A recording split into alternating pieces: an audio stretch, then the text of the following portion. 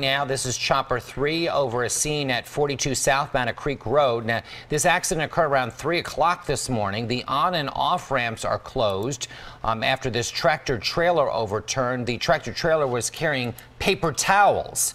There are no injuries reported at this time.